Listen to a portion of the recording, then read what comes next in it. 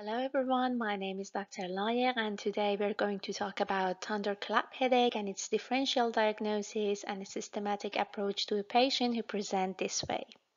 Okay, let's get to the case. It's 7 p.m. Your shift has been going good so far. A 34-year-old woman presents with the chief complaint of headache. She explains to you that this morning while running, she developed a severe sudden onset headache. It felt like something exploded in her head. The headache was 10 out of 10. She had to stop running and she went back home. She felt sick initially but didn't vomit. Uh, she took some paracetamol and uh, laid down, but um, although the headache is slightly better, it's uh, severe now and it, she feels agitated.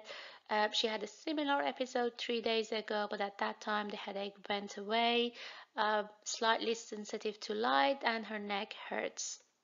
In her past medical history, she suffers from episodic migraine, but she hasn't had any episode for the past two months, and she has hay fever.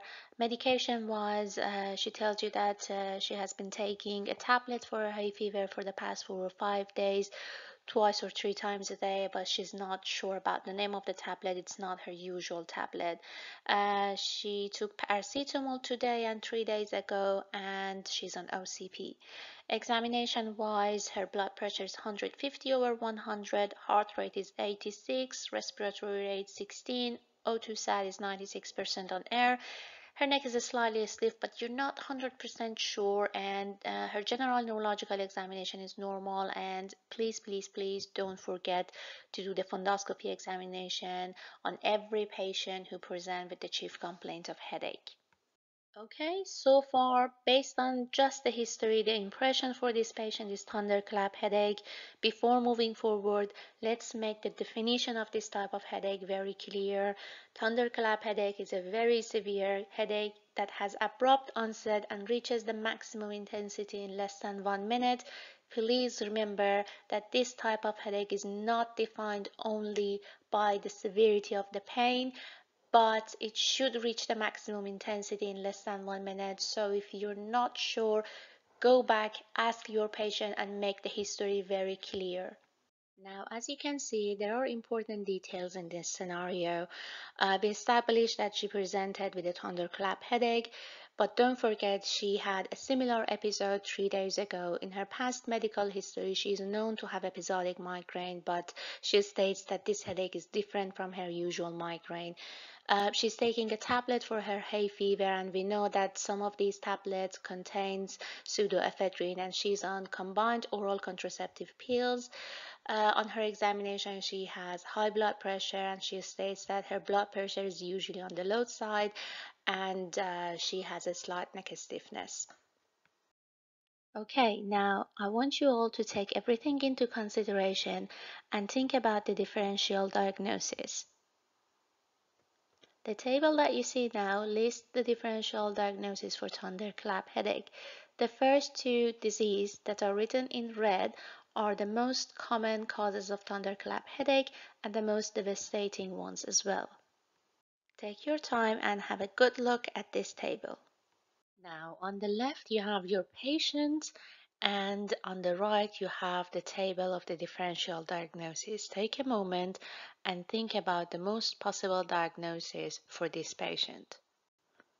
It's time for investigation. As usual, you take some blood samples to check for full blood count, specifically looking at white cell counts and CRP uh, to look for any signs of infection. If your patient is above 55 years old, add plasma viscosity to check for giant cell arteritis as it's uh, one of the differential diagnoses of thunderclap headache.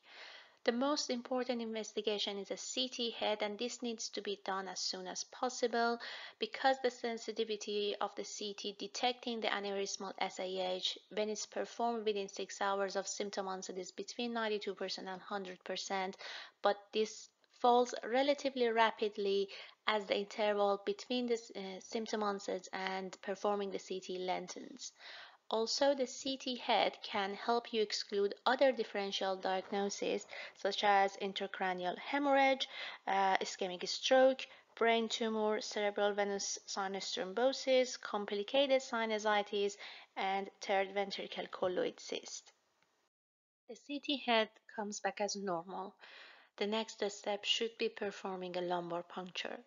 Although studies showed that uh, the sensitivity of CT head for detecting SAH when it's performed within six hours of the thunderclap headache onset is between 92% and 100%, but uh, the diagnosis of SAH cannot be overlooked, therefore you have to do the lumbar puncture. And bear in mind, not all patients present within six hours, like our patient in the, in the scenario. Now I'm going to talk about logistics here. Try to perform the lumbar puncture on lateral decubitus position because you need to check the opening pressure. Uh, prepare four top white bottles and one top yellow and uh, number your bottles.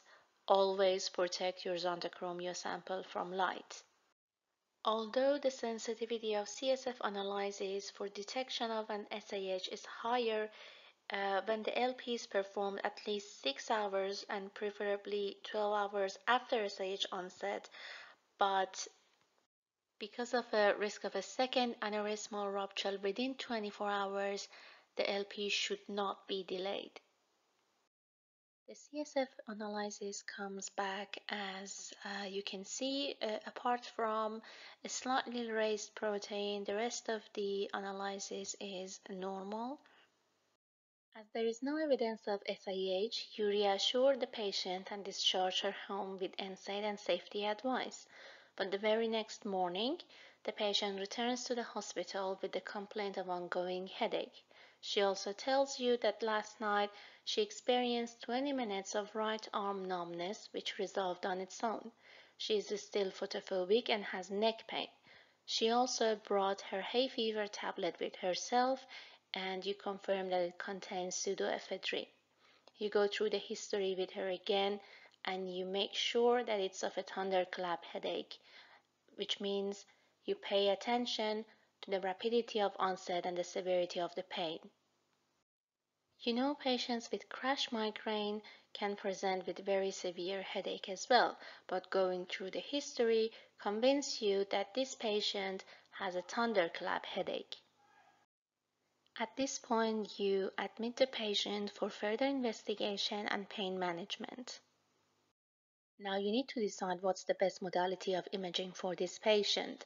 Going back to the list of your differential diagnosis, you already excluded SAH by normal CT head and lumbar puncture. The normal CT head also helped you to exclude other differential diagnoses such as pituitary apoplexy, ICH and subdural hematoma, ischemic stroke, complicated sinusitis, and third ventricle colloid cyst.